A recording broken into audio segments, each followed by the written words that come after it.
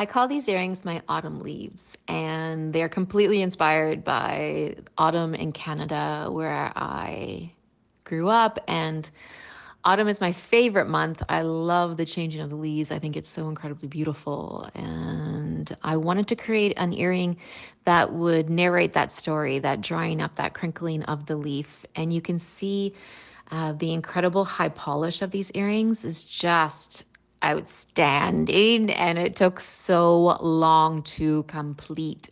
So inside you can see that see how beautiful and bright the gold is as well as on the outside. I wanted to capture the colors of the sun against the dried leaves in the autumn. So I went even further with my high polish to create that effect and you can see the um, the movement of the of the earrings so it moves forward and back on the hinge but also how I did the diamond setting on the outside so you get that brilliance and sparkle. So as you're wearing these earrings the brightness of the polish but then the brilliance of the diamonds to contrast it is so so beautiful.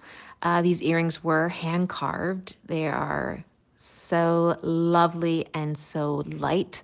There's almost a carat of D flawless diamonds on those outer edges.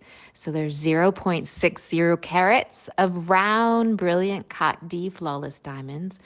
And these earrings actually have a matching pendant. So this is a little set that I created. Beautiful autumn leaves by Kat Florence.